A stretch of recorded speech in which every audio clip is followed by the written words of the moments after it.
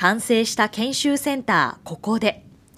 宮城交通グループが廃校となった小学校の土地を取得し総事業費およそ7億円で整備しました。今日は神事が行われ神主が施設やコースを清めました。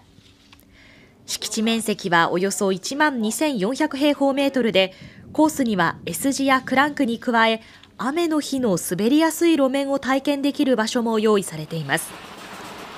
バス会社が研修に特化したコースを整備するのは東北では初めてだということです。この施設を使ってですね、えー、基礎的な部分からしっかりと教育をしながらですね、研修を積んでいきたいと。安心安全な運行ができるような運転手さんを育てていきたい。